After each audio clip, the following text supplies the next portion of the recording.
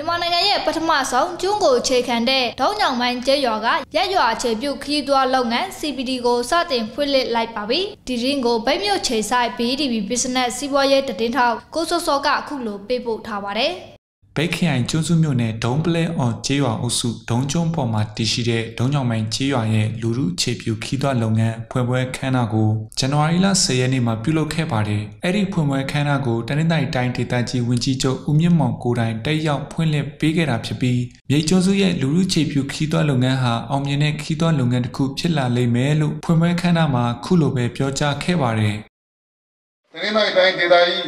မြိတ်ကျွန်းစုမှာရှိတဲ့ကျွန်းတွေမှာ အပန်းဖြေခီးလာရောက်လက်ပဲကြတဲ့ခီးသွားဧည့်သည်များပို့ပြီးတော့ဆင်ပြေနိုင်စေရေးအတွက်ကျွန်းကိုအခြေခံတဲ့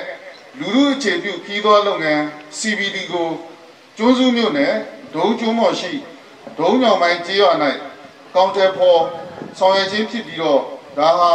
မြန်မာနိုင်ငံရဲ့ပထမဦးဆုံးကျွန်းအခြေပြု CBD ဖြစ်လာမှာဖြစ်ပါတယ်။တနင်္သာရီတိုင်းဒေသကြီးအတိုင်းလုံးမှာ အောင်မြင်ဆုံးလူမှုခြေပြုခီးသောလုပ်ငန်းဖြစ်လာလိမ့်မယ်လို့လည်းမျှော်လင့်ပါတယ်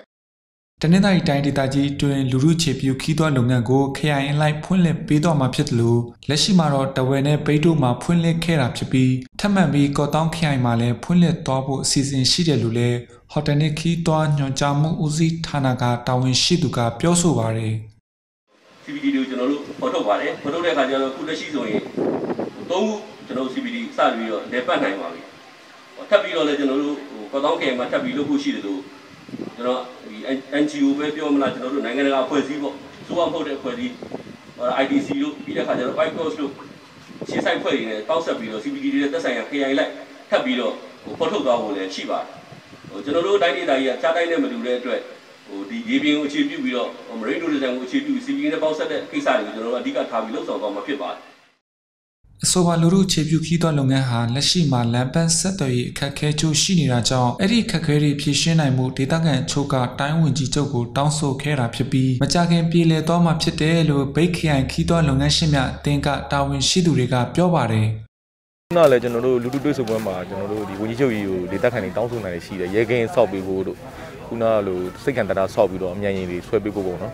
အဲ့လိုဆိုရင်တော့ခုနလမ်းမဆက်တဲ့ခက်ခဲအတွက် ဒီစိတ်ခံတရာဆောက်ပေးလိုက်ရင်ဒီမှာအမြန်ရင်တွေလည်းကက်လို့ရပါမယ်အမြန်ရင်တွေအလွယ်တကူလာလို့ရပါမယ်အဲ့ဒီအတွက်ကတော့လမ်းမဆက်တဲ့ရေးအတွက်ကတော့တော်တော်လေးကိုပြည်လည်သွားမှာပါပြီးတော့ခုနကလိုဆက်တဲ့ရေးဘိုင်းနေနဲ့ကြတော့တယ်လီဖုန်းဒီခုနကဒီ